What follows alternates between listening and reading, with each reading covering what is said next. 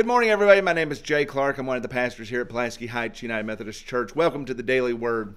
Uh, today's scripture reading uh, comes to us from Psalm, uh, the Psalms, and it's Psalm 119, verse 19. And I want to read this to you. I am a stranger in the earth. Hide not thy commandments from me. My soul breaketh for the longing it hath unto judgments at all times. This was one of the favorite Bible verses of Harriet Tubman. Uh, the great abolitionist. And today, across the United States, is uh, Harriet Tubman Day. And it's not a, a, holiday that is, is greatly publicized. The banks aren't closed, uh, schools aren't out. Uh, but uh, it's, it's a day that we should really look at uh, because it's, it's steeped in our history.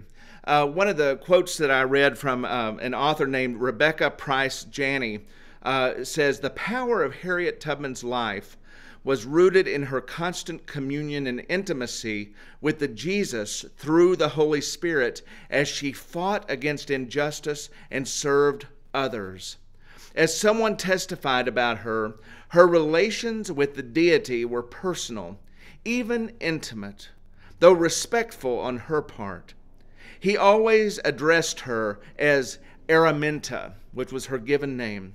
Harriet Tubman lived a life of intimacy with Jesus and wisdom that empowered her to accomplish the task set before her. So, as you uh, think about uh, this scripture, this, uh, this scripture from the Psalms, and Harriet Tubman's life, I hope that you will celebrate that and, and think about your relationship with Christ and how you can move forward in what Christ is calling you to do in your life. Blessings on this day.